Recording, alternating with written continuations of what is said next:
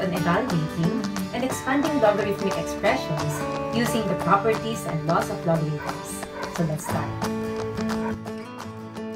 Example 1. Solve the logarithmic equation logarithm of 37 to the base 2 equals logarithm of the binomial 3x minus 8 to the base 2. So this is the given logarithmic equation. Since the left-hand side and the right-hand side are both logarithm to the base 2, then that means that the, that the two arguments or anti-logarithms are also equal. So we may equate them. This equation means that 37 is equal to 3x minus 8. Now, since this is reduced to a linear equation, then we may use now the properties of equality.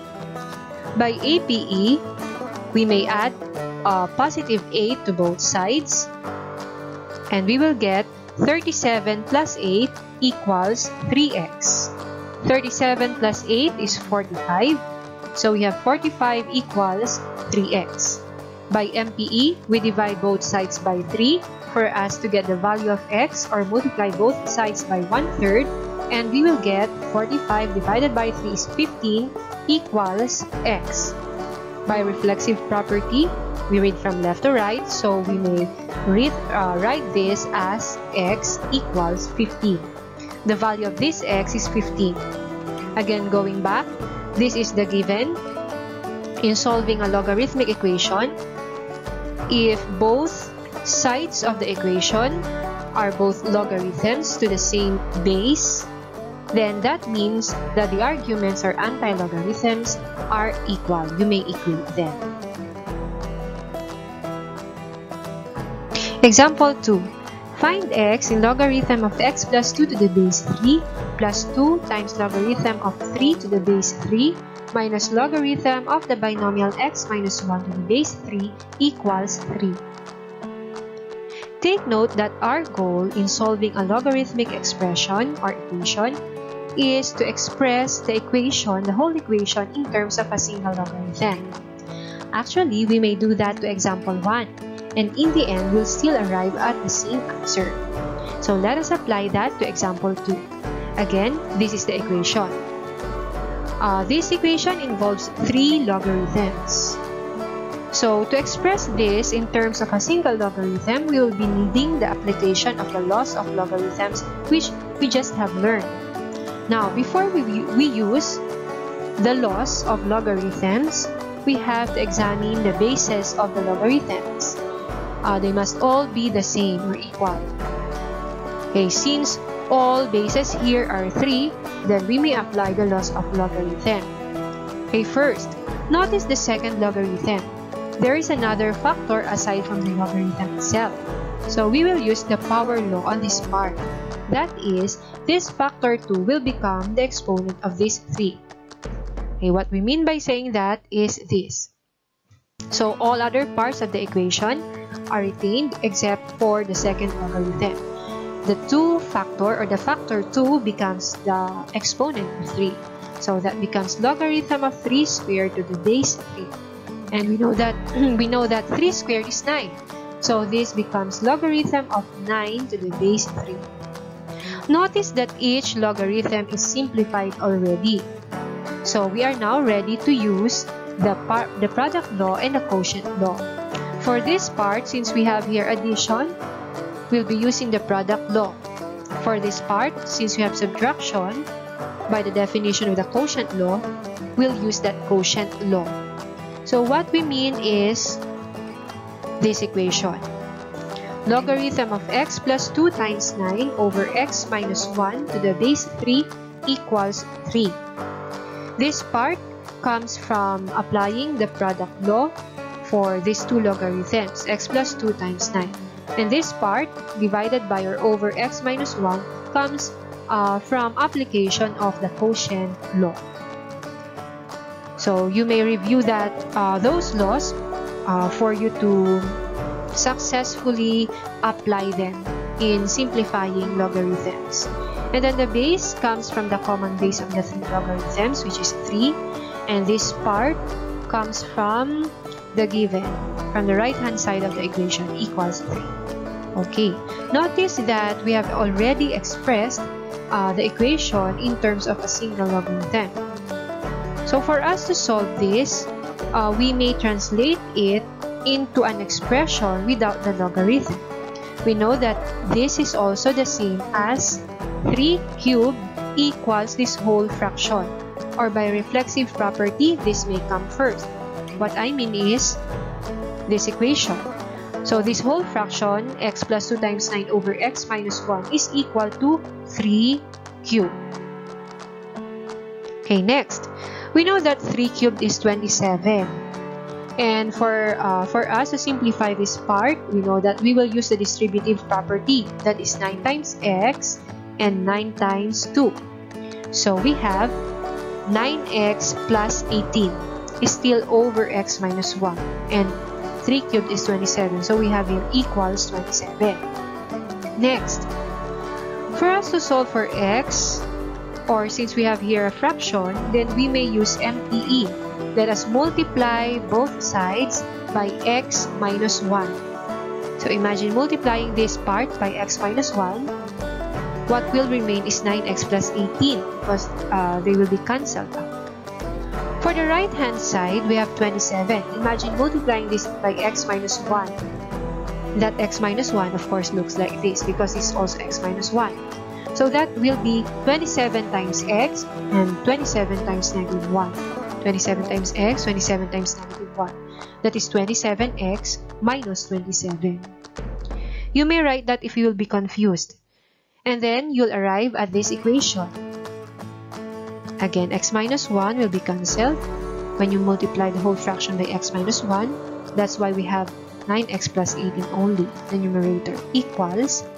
Again, we multiply 27 by x minus 1, that's 27x minus 27.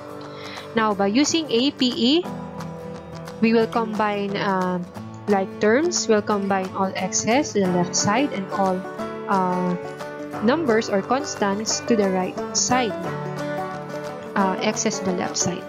So let's apply APE. We'll subtract or add negative 27x to both sides and also add negative 18 to both sides. And this is what we will get. 9x minus 27x equals negative 27 minus 18. Next, let's combine this. 9x minus 27x is negative 18x equals negative 27 minus 18 is negative 45. Then let's apply MPE by dividing both sides by negative 18 or that is the same as multiplying both sides by negative 1 over 18. So you'll get x equals 5 over 2. 5 over 2 comes again comes from negative 45 divided by negative 80. Negative divided by negative is positive. positive 45 over 18 when reduced to lowest terms is 5 over 2. So this is the value of x.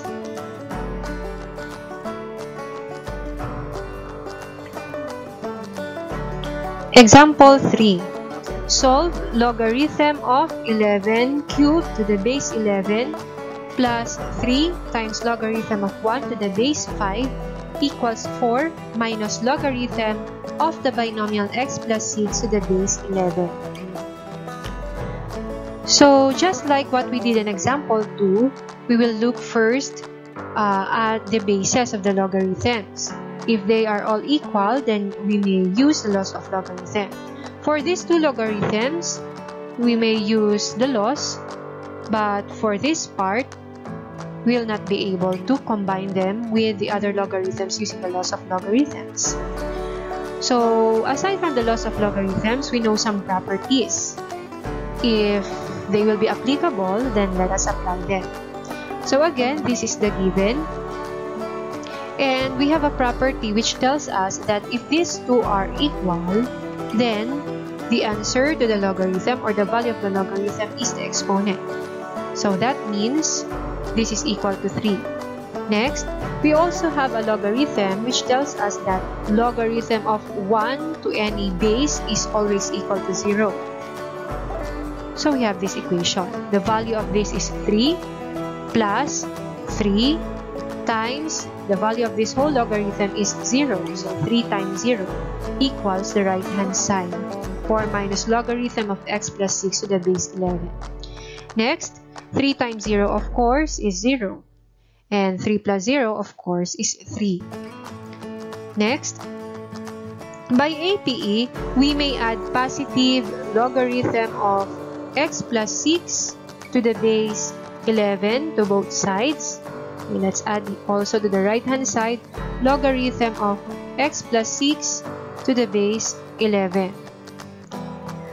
So uh, logarithm plus 3 is uh, this. Or uh, together with this we may also add negative 3 to both sides to combine this constant to the other constant on the on the right hand side. Okay so add negative 3 okay let's review that again.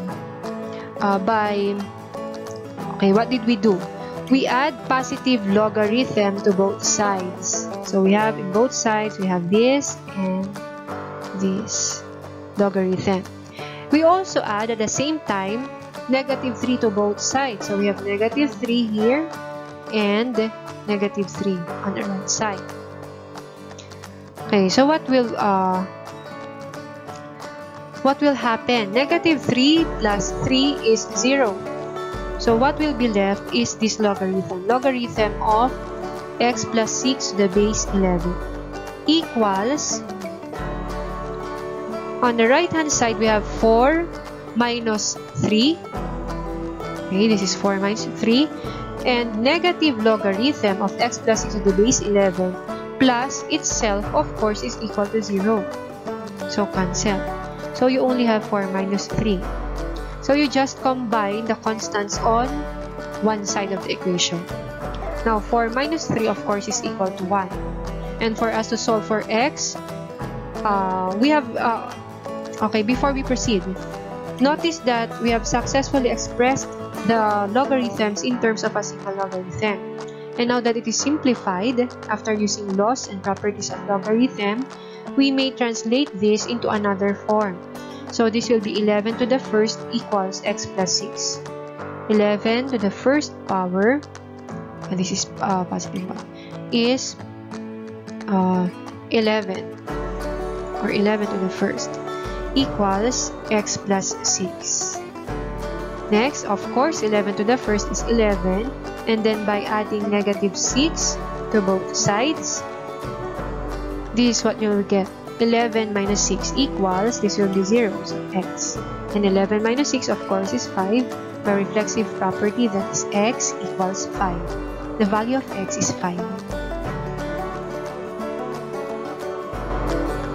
solving logarithmic equations is really easy if you know the properties and laws of logarithms. Until next time!